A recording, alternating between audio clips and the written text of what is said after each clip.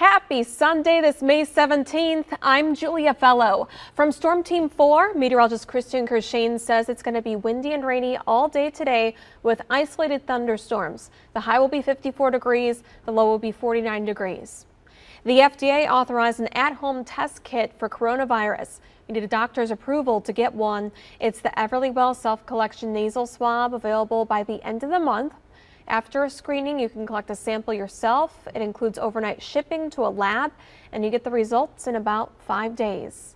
Taking a look at the numbers, we're up to 12,000 confirmed cases of coronavirus in our state. 453 people have died from coronavirus in Wisconsin. Meanwhile, more breaking news this morning in Rockford, Illinois. Police reporting an active standoff just ended. A suspect who allegedly shot three people, killing one of them, died in what appears to be a self-inflicted gunshot wound, according to police. The motel is about 25 minutes south of Beloit, Wisconsin.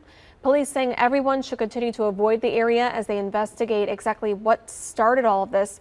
We don't know what led up to the shooting just yet and a single vehicle crash left one person dead. Happened at about 3.30 yesterday afternoon on County Highway Y, just north of St. Augustine Road in the town of Saukville. Police tell us a West Bend man, 34 years old, was driving his pickup drunk when he drifted into the center lane into the northbound ditch, which struck an 82-year-old woman who was out cutting her grass. The driver is charged with operating while drunk causing death. That's the 4 to know in your weather. Have a great day.